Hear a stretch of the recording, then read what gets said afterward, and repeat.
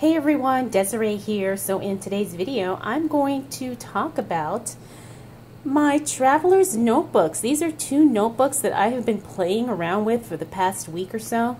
Now we are still very much in One Book July and I am still using my six ring binder with the HB90 planner system inserts and I'm still, you know, getting through that. I do like it. And I did give you guys an update in my last video, or maybe a couple videos back.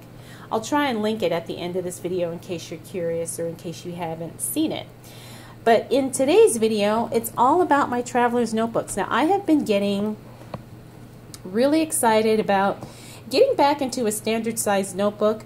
Part of that is because I've been watching Monique from A Risen You on Instagram. I will link her Instagram down below and her channel because she recently moved back into the standard size TN.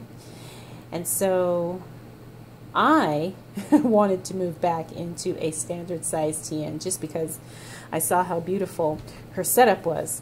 So let's go ahead and take a look inside both of these. Now, um, this one is a brand new Traveler's Notebook. I just got this. This is a Webster's Pages. I just got it in an order that I shared in a, another video a couple videos back. So I'm really loving it. And uh, I will go ahead and show you guys the details. Oops. Sorry. So you can see what I'm working with. Okay, so this is a standard size Webster's Pages Traveler's Notebook. And I think the color of it is the blush. This is a faux leather, but it's very, very soft. Really well made, and I'm really, really liking it. And I just, I can't say enough good things about Webster's Pages. You know, I have found so many good quality non-leather traveler's notebooks that, uh, you know, you really don't need to spend a lot of money. Now, I used to be a TN snob a few years back, and I only wanted a leather traveler's notebooks because back then the quality just was not there in the non-leather styles. But now, I have to say, um, if you are on a budget, uh, check out Webster's Pages. I know Carpe Diem makes one. Uh, there's quite a few. So, you know, you don't have to spend a ton of money to have fun, be organized, and have cute stuff. But anyway, okay, I digress. So, like I said, this is a standard size Webster's Pages Traveler's Notebooks. I kind of started decorating the pockets here. I didn't really do too much. I just have a picture of my little one, my initial here. There's nothing in this pocket. And then I have some of these Target dollar spot uh, sticky pockets in here because I was planning to use them, but then I just never got around to it. And then I've got an ollie clip up here. Now I do want to talk about these inserts. These inserts are not standard size. These are more like a wide size insert. And the brand in, of the insert is called Miro Utility Series. It's a dot grid. And I don't even know if they make these anymore. I've had these for so long. Oops. But I was just using what was in my stash. But I wanted to clarify that the inserts I'm using are not standard size inserts. They're a little bit wider. And I'll do a comparison when we look in my other TN uh, in a bit. So what I did is I went and I covered all of the inserts because they just have a plain pink cover. So what I did is I covered all of the inserts with this gorgeous scrapbook paper that I got from a paper pad from Michaels and I think I shared that on Instagram. But I had so much fun covering these inserts, and I used the Sarah Martinez method of covering my inserts. The way she does it is she doesn't just cut cut the paper down to the size of the insert, she actually folds it over so you know your edges don't curl up. And I love it because it makes the inserts just so much more durable and you know you have no issue with it being the correct size.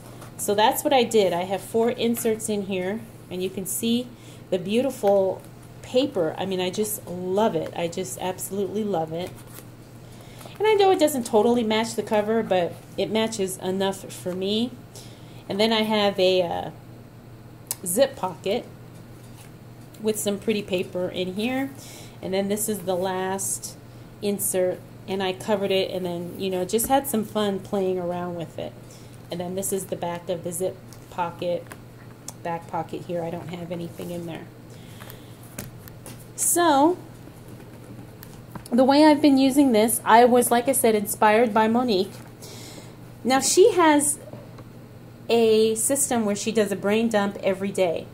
And I said, you know what, I really should get on board with that because my mind is constantly going and I'm constantly trying to remember, oh, what do I need to do? And a lot of stuff is really random.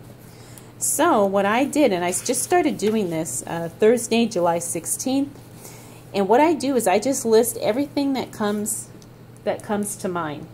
I just, you know, stuff that I need to do, stuff I need to think about, stuff I need to remember, whatever. And I do that for each day. I give myself a page a day. Now, sometimes I don't need a full page per day. And sometimes I, you know, carry over. Like, I didn't think I was going to need more for Saturday, but I obviously did. And I just, you know, I'm just having fun. There's no structure. There's no limitations on space. If it takes me a full day, you know, for something, I use a full day. And if not, it doesn't. And I'm just really really liking it because I can be creative I can use up my stickers and use up my washi tape and I'm using these inserts that have just been laying around in my stash for years no exaggeration. So that's what this first insert is about. This is basically like my running to-do list. Maybe it could be called a master task list maybe it could be called a brain dump list whatever. Uh, that's how I'm using that one now the next insert is going to be my goals insert because I just set this up. I haven't written my goals in here because I'm still kind of trying to figure that out. You know, if I'm being completely transparent. But I am having fun decorating the pages. So I just kind of played with the scrapbook paper. Threw some stickers in there. And because I'm trying to use up my stickers, I kind of just spell this out. The goal is to have fun. Remember, the goal is to have fun. And I think I'm going to write my goals in here. And as they, as time goes on, as they change, as things get accomplished, I will rewrite my goals. Maybe not. Uh, but that's the plan for that insert. This next insert, look how pretty. Again, I'm having fun decorating with the paper and stuff. Uh, this is my creative content ideas. So I just want to put some ideas of what I want to do videos and blog posts about uh, in here. And also track my track my posts because I still cannot find a social media content planner that works for me. And I think I'm just going to have to create my own because I have uh, three, four Instagram accounts that I'm working with. You know, some are mine, some are clients. I have uh, three blogs that I'm contributing to. I have three social media pages that I manage and that I'm in, in charge of the content for. And some are personal and some are, are clients. Some are, you know, people that are paying me to manage and run their social media. So I need I need space to kind of write all that down. And I, like I said, I have not found a content planner that can accommodate that because usually most content planners give you room for one Facebook page, one Instagram page, one blog, one, you know, YouTube channel. And I have multiples that I am managing on the day to day. Sometimes I pay more attention to the other ones than my own. And so my content gets neglected or I'm just, you know, if I've been doing someone else's, you know, Instagram all day, the last thing I want to do is post to my own Instagram page. But anyway, so that's what that's going to be. This last one is just going to be notes. Now I'm taking a couple of online classes, so I am writing down my notes for the classes I take in here. Now I just set this up last week, so that's why a lot of these inserts are blank and there's not a whole lot going on in them, but I'm really liking it so far. I love, love this TN.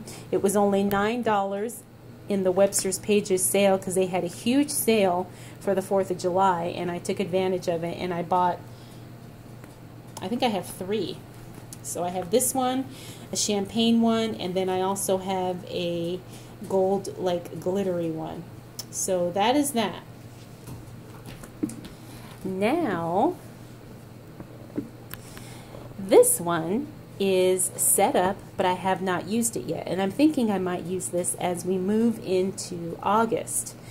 So, this is a Black Traveler's Notebook by Mystics Little Gifts. I no longer recommend or support that shop, but I know I will get questions about this, you know, Traveler's Notebook cover.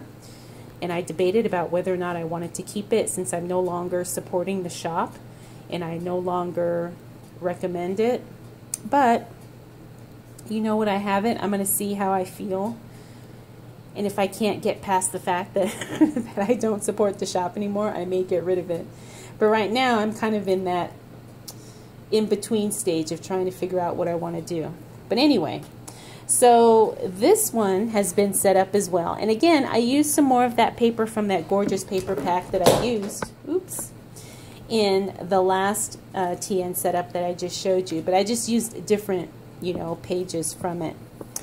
So this one, this was a Michaels insert. Again, I covered the cover with the paper, and I wanted to point out that these are the standard size inserts.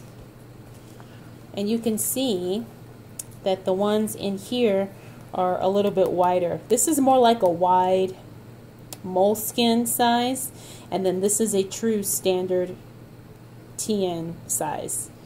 So I just wanted to clarify that for reference. So this is a Michaels insert. I covered the paper with scrapbook paper. This one is the monthly layout and then you get two weeks on two pages so again, none of these inserts have been used. I was just setting this, this up to see how I would like it and if I wanted to use it in August. So I just wanted to get a feel for it. So that's the first insert. This next insert, again, uh, I covered it with paper, with uh, the scrapbook paper from Michaels. And this is a Midori insert that, again, I've had this for years, just sitting in a box. And this one is the daily insert. So it's got like graph paper and then it has one, two here. And you get a, a day per page and there's nothing on it. It's blank. You can do whatever you want. So this would definitely fit with the brain dump style that I'm kind of doing in the other TN, which I may do in here, you know, just so I could use this insert. And you get one for every day and you get two months. So here is one all the way to 31 and then it starts again 1 and then it goes to 31 here in the back. So you get two months of daily pages in this insert. Then I have a dashboard. This is a Foxy Fix dashboard. I just put some more of that pretty paper in there. And then this is another Michaels insert that I covered with that pretty paper. And this is just a dot grid and it's blank white paper. And this is the back of the dashboard, which is not, I don't have anything in it yet because I'm not sure how I'm going to use this. Then I have another insert that I covered with pretty paper, and this is also a Michaels standard size insert. And again, this is dot grid paper because I always have to have a notes, just a plain random notes insert in all of my traveler's notebooks. So uh, then I have a zip pouch in here. And this one is just blank paper. It's not dot grid. It's just plain blank. And I don't know what I'm going to use this particular insert for. I may use it for notes. I may use it for uh, my son because we're going to be doing distance learning this year and I need to keep track of all of his stuff. So uh, that's probably what I'll use one of these notebooks for. And then this is the back of the zipper pouch. And then you have another back pocket here.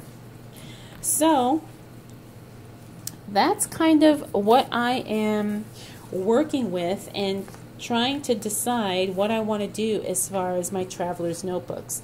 Now, I always have a traveler's notebooks.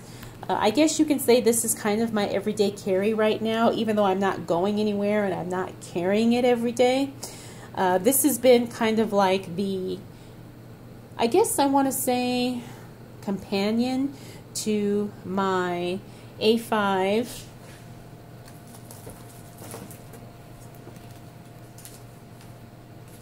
notebook here, which I've shared with you that I'm using for One Book July. This has my HB90 system in it and it's going really, really well. And I do really like it. However, I'm not sure if I'm going to continue using this as we move into August. I'm really liking the portability and the flexibility of the Traveler's Notebooks, but I could continue on using the HB90 and the A5 binder just to uh, you know, just kind of be a little bit more structured. But I don't know yet. I haven't made quite made a decision. But anyway, so that's where I'm at with my traveler's notebooks. I hope that you guys enjoyed this video. If you have any questions about anything, go ahead and drop them down in the comment section below. And if you are not subscribed, please make sure you do so because I do have a lot more videos to come. And I think that is it. All right, everyone. Thank you so much for taking the time to watch.